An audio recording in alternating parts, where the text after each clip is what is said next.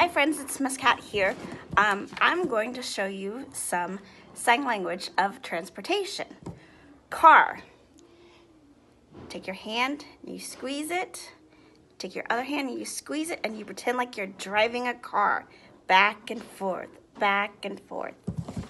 That's car.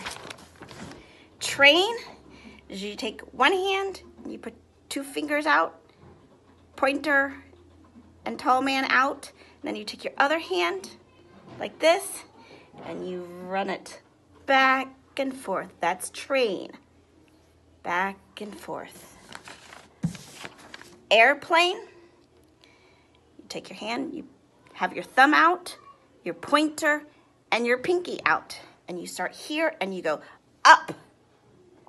Your hand like this. Up. Airplane.